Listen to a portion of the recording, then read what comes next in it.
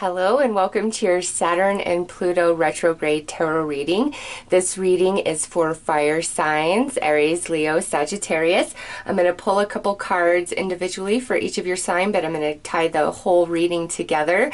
So Saturn is the daddy of karma and our greatest teacher, and Pluto is the great transformer. So over the next six months, um, there's going to be a lot of changes going on in our lives, and just depending on how open you are to different changes and energies that are trying to come into your life is how big or small the energies of Pluto and Saturn will be felt um, at a conscious level, anyways, because things are in motion and action regardless of what we think of them. Um, our consciousness is what allows us to really understand and see how all things connect. So, I'm going to start off by pulling a couple of cards and um, Saturn is going retrograde April 30th. Pluto just went retrograde April 24th.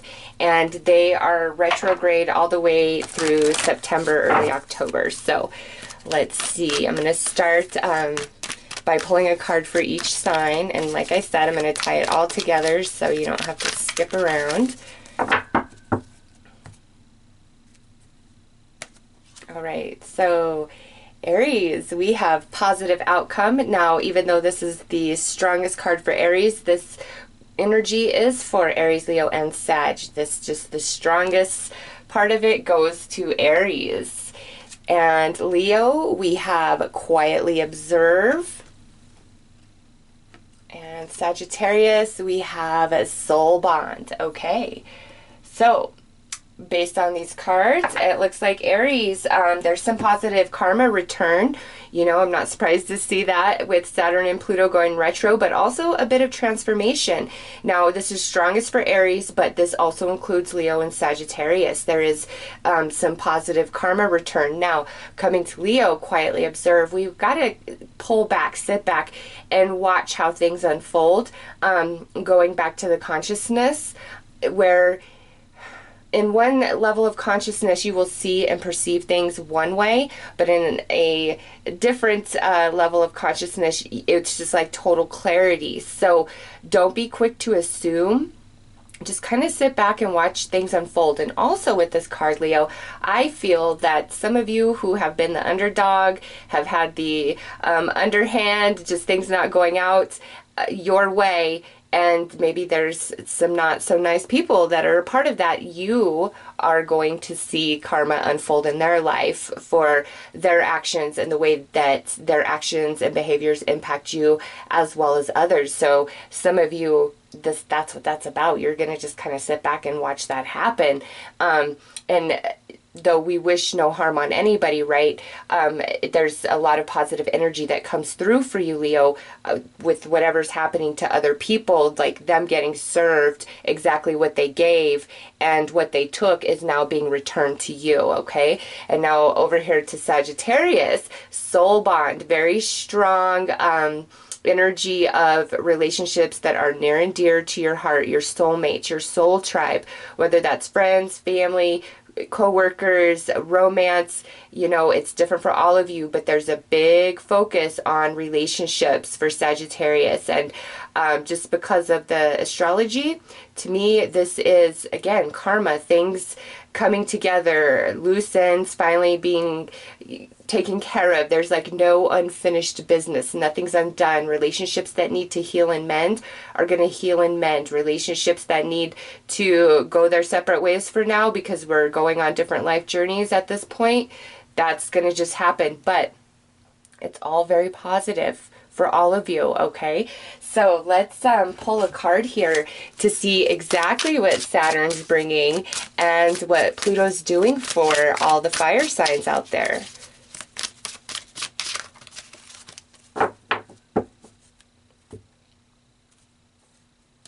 All right, so Saturn, extreme multitasking. And Pluto. Oh, look at Pluto. Seek facts. All right, so um, this right here, very strong Pluto for Leo. All right, again, sit back, don't assume, just kind of watch and see how things unfold and your perception is definitely going to change and shift now for all of you there's a lot that's going to be going on for fire signs over these next six months a lot of shifting and movement of energy but it's positive. Um, I really the fires uh, that are coming through in this, like you've been the underdog. Things just have not been going your way, and now um, you know you might just be at the point where you're like ready to throw in the towel, give up, just like screw this. I just don't care. I'm tired. And spirit's like, no, no, no. Seek facts, and also with this. Uh, facts are going to come out. Truths are going to come to light. But again, it's positive for fire signs, okay? And you guys are just going to kind of see people get theirs. And um, while they're getting theirs, you're getting yours, but it's positive, okay? So let's pull a couple of tarot dice to further clarify Saturn and Pluto. All right, so Saturn, we have the Hanged Man, that's that sh uh, shift in perception and consciousness that I've been uh, seeing through this whole reading. And now we have the Eight of Swords coming out over uh, Pluto, seek facts. So listen guys uh, hanged man eight of swords that's big time restriction delays like i said the underdog things just not working out things just not going your way uh, it's like you can't win for trying and that's all changing now through this, you know, planetary shifting and movement and retrograde. The retrograde is the return of energy. And, you know, those of you who have felt as though you've really been going through some life lessons, spiritual lessons, trying to sort things out, you know, um, trying to see the bright side, trying to believe that everything happens for a reason, you know, because when you're in a really low place, it's things like that that get you through, you know? It's like everybody has what they say to themselves to keep them strong and get them through. And um, it's kind of like you're at your rope. I, I can't take any more of this. Like, when do I get a break? When is it my turn? Well, now here comes this retrograde energy and it's positive karma return and those who have oppressed you and you know really just caused friction and challenge it's coming back to them and what i mean by that is who and what they are and, and what they've been putting out to the universe is coming back to them as much as who and what you are and what you've been putting out to the universe is coming back to you.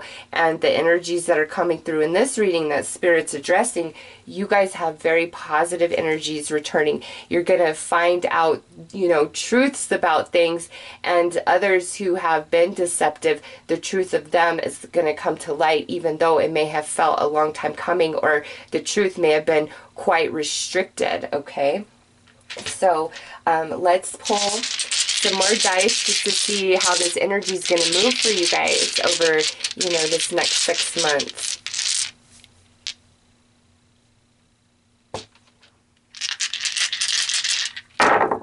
All right, so we have the King of Pentacles.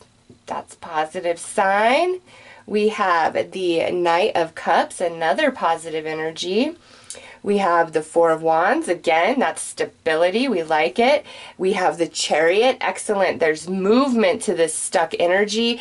And look at this, the High Priestess. So listen, fire signs, it's going to get better for you. Okay? It definitely is where you've had this really stuck energy in some area of your life where you just can't win for trying um, that's going to change over these next six months. And with the High Priestess, um, pay attention to your insights. You know, it's just sometimes what you're feeling and what you're thinking and the way you're perceiving is like worlds apart from other people. And so you might question yourself and think you're wrong or you don't know what you're talking about or how could that possibly be? Trust yourself, okay? Because you have a spirit guide that's like, hey, hey, hey, around any sort of deception in your life where it's time to be freed of that, it, the oppression, it's time for that to go. Um, you've completed that cycle, you know, whether it was karmic for you or just part of your soul journey. This is a general reading, but you're, you've completed that. And now it's time for stability. It's time to move on from the oppression, okay? Um, also, with these energies, there could be some people that are really going to help you out um, in whatever sort of transition, transformation that you're trying to make, or just naturally starts unfolding for you over the course of the next six months. Um, this could be Earth, so Taurus, Virgo, Capricorn, and the High Priestess. I always attribute to water, so Cancer, Scorpio, or Pisces. You also have the Chariot, so that could be uh, a Cancer, and then you have the Knight here of Cups, which is more water energy. So a lot of Earth and water energy around fire signs to help them grow, help them, you know, escape the shackles, to come into clarity, come into deeper understanding and also with these two planets going retrograde, you find motivation to make big time changes that you may have not felt mentally or emotionally strong enough to do in the past. It's like over this next six months, game on. The shackles are broken free, and um, you're motivated to do what you need to do to better your life, to better your relationships, to better your connections, bring more stability, bring more intimacy, love, and happiness into your world. A big time message of stability coming in, um, Leo, Aries, Sag. I keep wanting to just call out one sign. I'm sorry. Doing all three is um, newer to me, but I like how this reading's going, so That one wanted to come out. Feeling a bit triggered.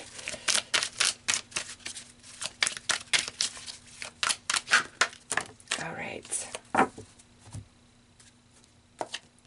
Okay, I guess that one had come out too. All right, so we have the five of activations. This is all about being triggered and when you're being really triggered, things are really getting under your skin, and it's like one thing after the next. It's you stop one fire just for another one to start somewhere else. That's spirit letting you know, hey, your energy is a bit scattered and you're focusing on all the wrong things. Um, you're focusing on worry and you're overthinking rather than just doing and and going with it um, because worry changes nothing. It, it truly doesn't. I mean, and time is going to pass no matter what you're doing, whether you're worrying, whether you're really trying to achieve something, whether you're just sitting there doing nothing at all. Time is passing. Like it's not going to stop. So to me, honestly, time is one of our greatest gifts, and how you spend it is how you spend it. Every day is precious, and um, that's really coming through strongly in this is like don't let the little stuff get to you anymore. It's not worth your time. It's not worth your energy. And also back to like some relationships and connections in your life um, i just they may bring the worst out in you um, or they just like kind of drain you of energy. You just never feel good after dealing with that person or you don't want to have to i mean it could be a coworker where it's like oh god do I have to see or deal with this person today? Um, but spirits like don't don't let the little stuff get to you anymore. Um, the lion does not lose sleep over the opinion of sheep, right? Keep that in mind. Rise above because uh, there's great stability. There's lots of changes, and this I feel is kind of energy you're getting out of where your situation's uh, smoothing out a bit, so you don't feel so triggered and um, just stimulated, like overstimulated, and what's going to happen next. All right, uh, next card out is Six of Intuition. So this is attached to the past. This is coming out under this Knight of Cups. So uh, also with Soul Bond here, listen, there are definitely some connections and relationships uh, from your past that are not resolved for some of you. And again, some of this could be where you're finally going to see somebody get theirs, okay? And for others of you, through this retrograde, it's really pulling up stuff from deep down in your core that is not resolved around um, friendships, family, romance, just uh, relationships that were near and dear to your heart, but something went wrong. Um, it was left unfinished, left undone. We could have left angry. Somebody could have hurt us, could have betrayed us. We could have hurt or betrayed, you know, a certain person, and now we're feeling a lot of remorse about it. It, it could be years ago. It could be more recent. All right but there's element of energy of the past where it's time to finally heal that and what i mean by that it's not like oh we're going to be back in contact with people or things like that no this is a healing that takes place internally within self it's a personal choice where you say spirit i Please help me heal this emptiness. Please help me heal these wounds, these connections, these relationships that are left undone, that have hurt me, that there is no clarity, there is no closure, and have no expectation of how it's going to play out. Just put it out there and have that your intention that however that wound needs to heal, you're going to do it. And I promise you, Spirit will come in and start showing you the way. And little by little, day by day, you'll start feeling better about the past and feel the willingness to move on and accept it for what it is. All right, next out, Six of Manifestations. This is a great card. This is coming out under this uh, Four of Wands. So this is all about some stability coming in, some unexpected help, some new connections, some good friends, a really good support system. Um, if you, any of you are like shifting into a new job, a new career, I feel it's a much better fit. Um, some of you also through this next six months, it's like you're really establishing yourself in life, um, making like a purchase of a home or relocating to another state, another country, but it is very move, even if we're afraid to let uh, the past or, or current uh, familiarity of life go. No, it's a it's a really good move if that's um, you know what's happening for you. And this is a great great card coming out under the Chariot, the um, Nine of Manifestations, and this here just confirms for me that you've been on a very, very long journey. And at points along that journey, it's been lonely, it's been lackful, you have struggled, you have worried, but through your travels, you've become so wise, so strong. Uh, you have some mental and emotional strength that you didn't possess a year ago, okay? Whether you are recognizing that about yourself or not, it's there. You've earned it. You've achieved it. And that's why there's this positive energy coming through for you. So don't, um, don't assume that things are going to stay the way they've been for quite some time because you're shifting out of that over this next six months. And everything is a process. I would love to say, oh, snap your fingers and there it is. It's a process. And oftentimes with the process, you don't realize until you look back and you're like, oh my goodness, look at how far I've come. Look at how much has changed. I didn't even notice. It's just such a subtle part of life, part of journey. All right. So, uh, the last card that jumped out was this intuition healer. Now, this comes out under this high priestess. So, again, this is that water energy, Cancer, Scorpio, Pisces coming in, where um, this is talking about the healing that's taking place for fire signs, or there's a water person we're healing with, or a water person water type personality really going to help you out over this next six months with all these energies that have um, come out, come through. Don't react, don't retaliate. Just sit back, watch what the universe does for you, and, you know, trust that what you put out is what you get back. It could happen really quickly, or it could take a really long time for that to return. But either way, it's to come back. I promise you that. So let's pull some more clarity on these uh, tarot cards.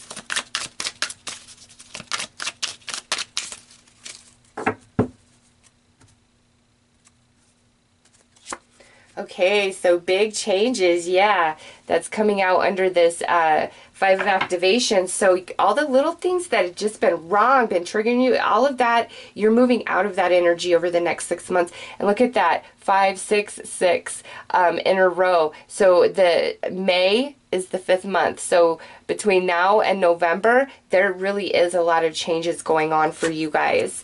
Um, romance is coming out under this intuition, the past and the romance. So, um, and look at it's Leo energy. So maybe this is strongest for Leos. Um, there's some element to this uh, Pluto Saturn retrograde for you where romance of the past, whether this is just unfinished business, this is somebody you still wish you could be with, like it's just different for all of you. It's some wound in you that exists somehow, some way, and this next six months, Spirit's really pulling it up from deep down and putting it in your face. It's time to heal this. It's time to move on from it. Whether that means we're just letting it go entirely or we find ourselves reconciling. That's irrelevant um, to this reading. Spirit's like, no, it's time for healing. It's time to move on. The restriction, the oppression, the sadness, the depression, it's time to move on from that. You've walked that journey and you are so much wiser and stronger for it. Next out, new moon magic, blessed moon energy. Yeah, you're on a new path, okay? Things are really changing and turning around for you guys over these next six months. You've got to trust in that um, evaluation coming out under this nine of manifestations. And just like I said, you're going to look back and realize how far you've come and how strong you are and how much wisdom you've gained and knowledge and experience. You're just a different person. And roots. I love this uh, with the Four of Wands in Roots, it is time for stability. This is coming out under that High Priestess and um, water energy, the healer here. So again, this person's either really going to help you make sense of everything and help you heal and move on. Um, this could be a new friend coming in. This could be a spiritual mentor of some kind. This could be a Reikiist. Um, if you've had some physical issues, this might be a new doctor or a nurse coming into your world. Um, or this could be like a, a water sign energy where we are having some sort of reconciliation and healing because the roots are there regardless of what's happened. The soul bond exists and, you know, all things in perfect divine timing. So let's pull some outcome and advice. You guys, this is a, a really good reading. Um, expect a lot of changes and some magic and you're going to realize how far you've come and how much is different and it's just that this isn't like if you've been feeling really bad really down um, this is where you finally come into feeling like a hero, a rock star, like go me. Look at what I've been through. Look at what I've overcome. Look at the way I understand and I perceive things now. It's just, um, like a, a graduation, an elevation of energy. All right, so yeah, this is your outcome. Deep healing. We've got Chiron. And that's probably why this is here. Like, no matter what this healing means for each of you, um, it's very positive. The end result, you're happy, you're satisfied. And look at this. This is your advice, gift for you. Uh, Spirit wants you to know that you are not alone. Your prayers never go unheard. Um, and they don't even go unanswered, even if it appears that way. Everything has moving parts. Everything is part of the cosmic plan and it's all in motion and you signed up for different lessons and you've just got to go along your life journey and trust as it unfolds that all is always well. The challenge, the oppression, the contrast is what grows and teaches, adds character, really makes you strong and wise. And, you know, you can't be strong and wise uh, with minimal resources forever, right? And Spirit knows that. So you guys are coming into that reprieve where it's like you've been traveling through the desert and now you've come across this beautiful oasis. And in this oasis, you're completely replenished. You finally understand. You're no longer held back and restricted in your mind, in your heart, in your life. And there's a lot of healing going on and taking place. And you are seeing others who have harmed you and hurt you get theirs. And it, it's not like it fills you with joy it's just you are seeing the give and take of the universe, the dance we all share, the um, you know collective consciousness that we are all a part of, and what you give is what you receive all day long, every day. And the more that you take the time to pay attention and connect the dots, the more and more you'll see it in the tiniest of details. It's almost frightening, actually. So, fire signs time for healing, time for mending, time for letting go of some stuff that's you've really been dragging around for a long time, feeling liberated and freed, and some good stability coming into your world. So, those are your messages. I'm wishing you guys all the very best. Take care.